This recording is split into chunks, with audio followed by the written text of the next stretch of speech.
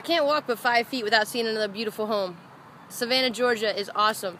I'm walking down Forsyth Park area, so there's this huge park. I'm trying to get a little run jog in, but I mean, I see stuff like this, and I gotta stop and take and appreciate it.